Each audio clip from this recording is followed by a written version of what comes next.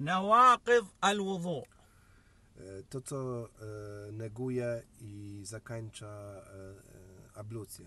ينتقض الوضوء إذا خرج أي شيء من السبيلين من القبل من الدبر سواء من ذكر أو من أنثى يعني بول أو غائط أو ريح E, Po pierwsze, to co wychodzi z dwóch e, dróg, e, e, mm, czyli jeśli ktoś e, użył toalety w, e, e,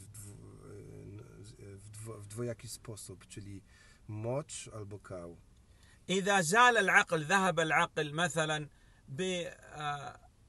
بسكر جنون مخدر بنج مثلا في المستشفى زال عقله انتقض وضوءه Tak samo jeśli e, osoba traci świadomość, e, na przykład poprzez e, Naum. u- używki albo sen, albo osoba straciła przytomność e, poprzez e, stan zdrowotny, tak, to, to tak samo نجويا أبلوسيا يعني. كذلك ينتقض الوضوء إذا أكل لحم إبل لحم الجمل. تك سامو يشتي أصبا زيادة مينسا مينسا في البوندة تك سامو تنجويا يكونش آه، أبلوسيا يعني.